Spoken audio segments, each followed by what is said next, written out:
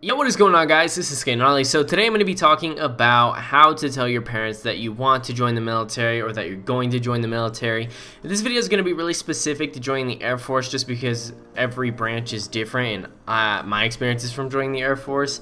Um, I mean, I guess you could still take this and use it in other aspects if you are planning on joining another branch, but this is more specifically going to be oriented towards people joining the Air Force. So, let me tell the story first about how I told my mom and dad. Um, my dad wanted to join the Navy when he was really young, but he couldn't um, do like the buddy system with his friends because he had asthma. He couldn't like do the same job as them or something like that. So he didn't end up joining at all. Um, so my dad and my grandpa was also uh, in the Navy. So like my dad is kind of re really cool with like military. Like he didn't care. I told him separately um, I was like, all right, like I'm gonna join the Air Force, and it was just alone with him, and he's like, oh, that's awesome. Okay, so I, I was really struggling to tell my mom because I knew exactly how she would react. Um, just because like I feel like it's a mom's thing where like a mom doesn't want to see their baby, you know, going off to war or whatever they may think it is, um, which isn't really the case necessarily for the Air Force. Um, so I was like, okay, like, um, let's go get lunch or something like that. And we ended up going to this diner. And uh, I just sat down. I was like, all right, I have something to tell you. She's like, are you pregnant? Like, is, your, is it more pregnant? And I was like, no, I'm not having a baby. Like, that's like a mom's first first thing that they ask. Um, so we sat down, and I was just like, I'm gonna join the Air Force. I, it wasn't like I think I'm gonna join the Air Force. It wasn't like that. It was like I'm going to join the Air Force because by this time I had already talked to my recruiter. I had already kind of started the process. Um, I think I was scheduled or was going to be scheduled to take the ASVAB or something like that, and I straight up told her, and she was like, "No, please don't, please don't." And she started crying, and it was just that kind of mom thing, and it kind of hurt because it's like, dang, like wow, she really does not want me to do this. Like, she honestly thinks that I'm going to be in danger. And after some explaining and stuff like that, like she kind of got a little bit better with it not really like she kind of brought herself back together and was just like okay like that's you know whatever like she was just really you know asking a lot of questions. And then uh, as time went on like now to this day she's actually really supportive and she's like all right like that's awesome like you're gonna do it and you know do it for yourself and you're gonna be able to go to college and you know do all this other stuff. So she's actually supportive. Now that she understands that the air force isn't grunt work you know you're not gonna be getting shot at or i mean it's it's a possibility obviously in deployment or wherever you may be but it's the chances are really slim. Like the number one killer in the Air Force is like it's not necessarily a killer. I don't want to use that word because that might be a little disrespectful. But suicide is actually uh, something that is really high in the Air Force um, compared to like combat. You know, so th there's those side of things, and like those were just the things that I brought up to my mom. You know, it was a lot of benefits, a lot of like you know like she always knew I wanted to join the Navy. She kind of had her little mom thing where it's like, oh well, you want to join the Navy because this person was in the Navy or this person is in the Navy. And I was like, no, like actually, I've kind of always wanted to join the military in some sort of way. So I explained to her that, like, okay, like I wanted to join the military when I was younger, and then it kind of faded away, but it still was kind of there. And uh, it's just the positive things, like the GI Bill, um, how pay works, how I'm only going to be in for four years, how I get to travel a little bit, how I'm not going to be getting shot at. I'm going to be doing cyber systems operations and or cyber surety at the time or whatever I wanted to do, like photography or being a dental assistant. You know, it's stuff like that. How, yeah, I could end up in Colorado and I could still be home in my home state with you, or you know, it's temporary and I could still be in the United States, or even if I w- did want to go overseas, I have the opportunity now. And it was a lot of stuff like that. Um, and now, right now, I want to pause and say it really depends on your family because everybody's experience in life and with their parents and the way that they're raised is completely different.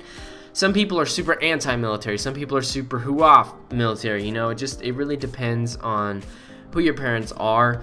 Um, now, I feel like in that situation, from people who are super anti, you know, war and anti-military, it really comes down to you being honest, and you understanding that this is something that you want to do, something that you think that is going to benefit you, and if somebody doesn't support you, then that's just the way it is. You can't change their mind. Like that is honestly what it comes down to is that you can't even join until you're 18. So you can just if they don't want to support you and you're still under the age of 18 you could just wait till you're 18 and then you can go talk to your recruiter. Now obviously it sucks. It really does suck doing something in life aside from military where your parents or people who are close to you don't support you because I have 100% been through that. Um, but honestly you are your own worst enemy in that aspect of you need to support yourself when nobody else is supporting you. And if you're not supporting yourself and they're not supporting yourself, then nobody is going to support you. And honestly, like that's really what it comes down to.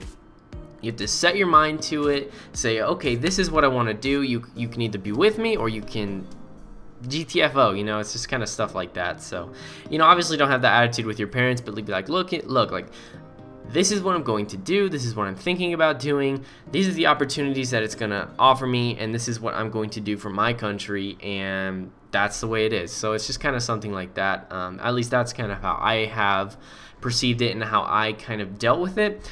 Um, anyways, I don't want to make this video too long or anything like that. Thank you so much for watching. I really hope that you enjoyed this video. I just kind of want to get this information out there in my sort of recruiting and processing life that I'm in right now just because as I progress with my career and you know growing and stuff like that I'm not going to constantly be looking back and making videos about how to tell your parents you're joining the military when I'm already in the military so it's stuff like that um, now one thing that I really want to say is thank you so much for all of the support that I have been getting on my channel recently. I think last time I checked I was like 594 subscribers.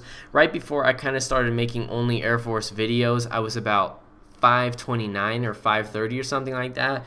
Um, I've been getting so much love on my channel, and I really just want to appreciate. I just want to take it take some time to appreciate that, just because so much has changed and it was like instantaneous. So if you guys have any video requests or anything that you would like to see from this channel and from me uh, just let me know.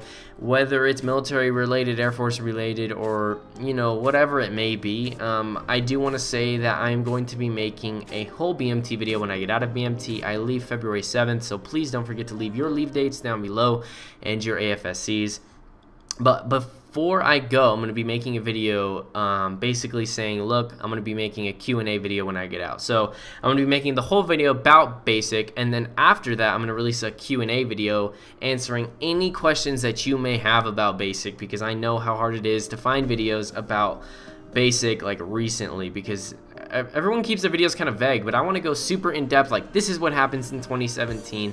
This is where I stayed. This is what it looked like. I, would, I just wanted to make a video like that because like that is exactly what I was looking for and I couldn't find it. Um, and I mean, you know, you have Kyle Gott's videos and you have stuff like that, but their videos aren't accurate anymore because they went through so long ago and it's just something that constantly has to be updated. And uh, sorry I don't want to ramble but that's just kind of where I'm at and that is what I'm going to be doing. So start to gather up your questions. Don't leave them in this video. Um, I mean you can if you want to but I'm really going to see all of them on the video that I'm going to release before I do live. So anyways thank you so much for watching and have an awesome night